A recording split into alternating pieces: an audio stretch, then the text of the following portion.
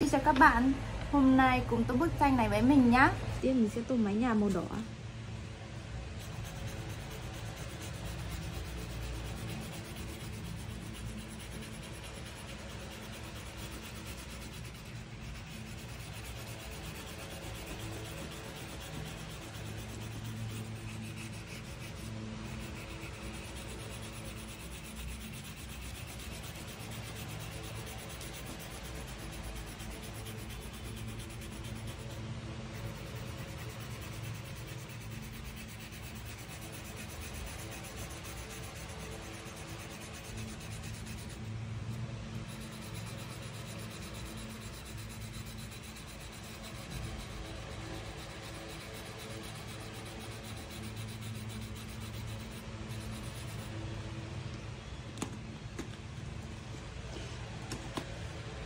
Theo mình sẽ tô âm sao.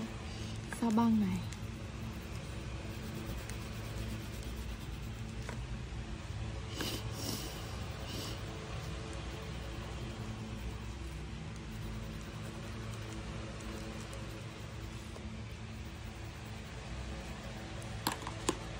Sau này mình sẽ tô màu tím. Đây là Cái quanh của cái ờ,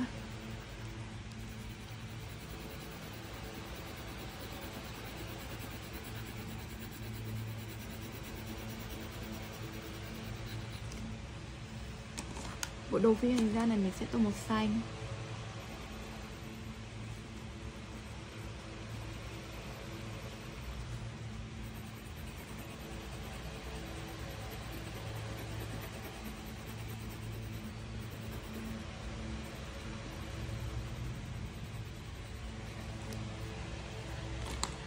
Ở con cún này thì mình sẽ tô màu xanh màu xanh này.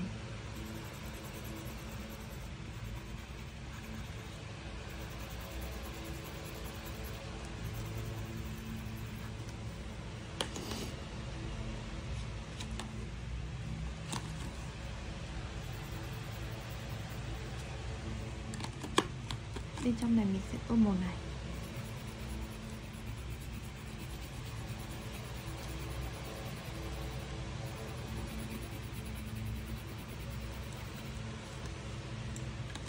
Căn mình sẽ tô màu cam